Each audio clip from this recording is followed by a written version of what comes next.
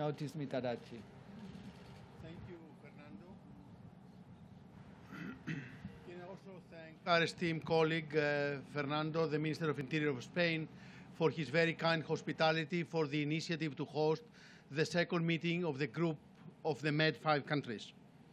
We had the opportunity, together with our friends, Minister of Spain, Italy, Cyprus, and Malta, with whom we are in regular contact and cooperation, to discuss various issues related to migration management in Europe and to further coordinate our positions regarding the crucial negotiation of the new pact on migration and asylum, one year after the presentation of the Commission's initial proposal.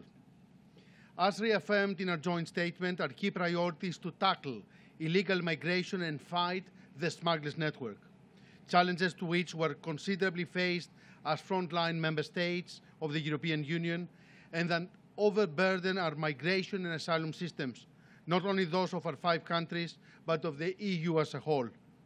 In this regard, we have set a series of main objectives on which we are focusing our action. First, preventing illegal arrivals through the support to and the cooperation with origin and transit countries.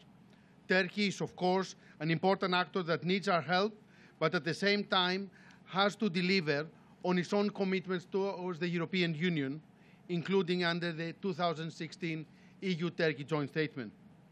Secondly, by continuing the active and effective protection of the external borders of the European Union in full respect of international and European law.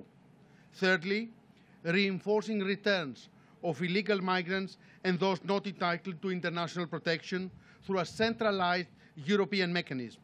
And finally, achieving a fair and sustainable common European policy resistant to any efforts of abuse of the asylum acquis and ensuring the necessary solidarity and participation of all member states in cases of migration pressure.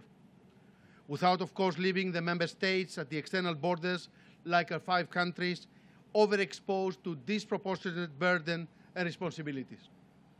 Having said that, we believe that the pact is not a precondition for action, since we can deliver better results on the three aspects of external dimension, border protection, and common returns already under the existing legal framework.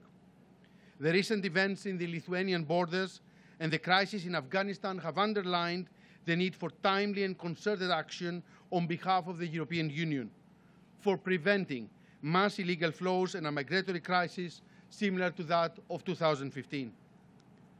It was also made clear that Europe must engage in innovative policies for building resilience against the instrumentalization of migration by third parties as well as human trafficking.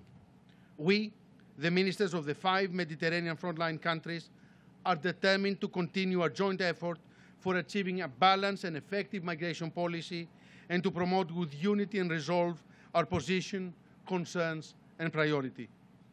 There is an agreement on adopting at EU level the regulation on the new European Asylum Agency, achieved thanks to the constructive attitude of our countries, has shown that we're ready to be flexible when needed in a spirit of compromise. We expect our European partners to demonstrate their readiness to reciprocate. Dear Fernando, I would like to express our gratitude for the warm hospitality in Malaga, in this marvelous location, and for offering us the opportunity to hold two days of intensive and thorough talks, exchanges, and interaction. Thank you, Fernando. Thank you so much, Minister Mitarachi.